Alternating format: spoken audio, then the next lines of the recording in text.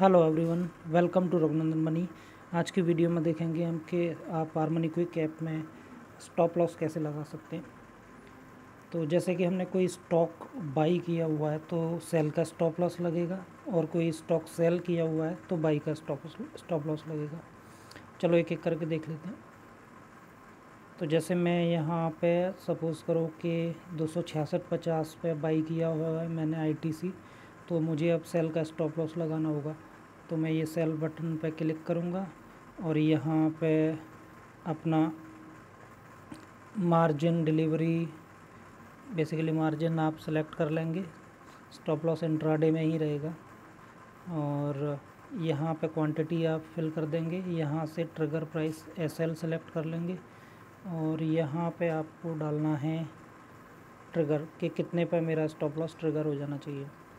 तो जैसे हम सेल का लगा रहे हैं तो ये नीचे का आएगा टू सिक्सटी फोर सपोज़ करो मैं टू सिक्सटी फोर से ज़्यादा लॉस बियर नहीं करना चाहता तो मैं टू सिक्सटी फोर डाल दूँगा और जो लिमिट प्राइस आएगा वो यहाँ पर two sixty three point seventy ले लेते हैं।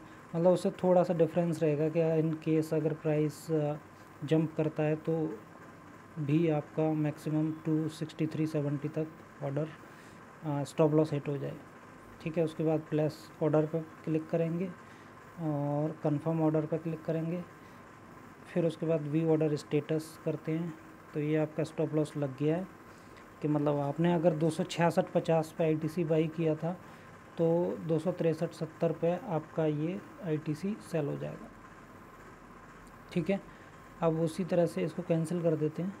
उसी तरह से अपन देखते हैं कि अगर हमने सेल किया होता तो कैसे लगाना। सपोज़ करो आईटीसी का ही एग्ज़ाम्पल ले लेते हैं। आपने ये सेल किया हुआ है दो सौ छियासठ पचास पे। अब सेल के केस में बाई का स्टॉप लॉस लगेगा। तो यहाँ पे हम बाई पे क्लिक करेंगे।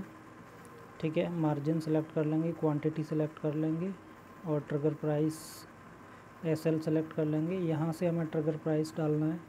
तो जैसे मैंने ये सेल किया दो सौ छियासठ पचास पे तो मैं इसको दो सौ अड़सठ का स्टॉप लॉस डालना चाह रहा हूँ कि दो सौ अड़सठ से ऊपर जाए तो मेरा अपने आप स्टॉप लॉस हिट हो जाए पोजीशन अपने आप एग्ज़िट हो जाए। ठीक है? दो सौ अड़सठ, दो सौ अड़सठ तीस, ऐसे दस बीस तीस पैसे का डिफरेंस रखते हैं इसमें। उसके बाद में प्लेस ऑर्डर कर देंगे। कंफर्म ऑर्डर अब ये आपका स्टॉप लॉस लग गया है, दो सौ अड़सठ तीस का। ठीक है?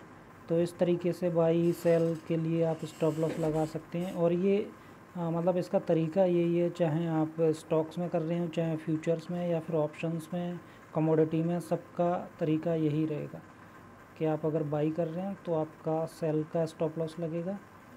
और अगर आपने सेल किया हुआ है तो फिर बाई का स्टॉप लॉस लगेगा।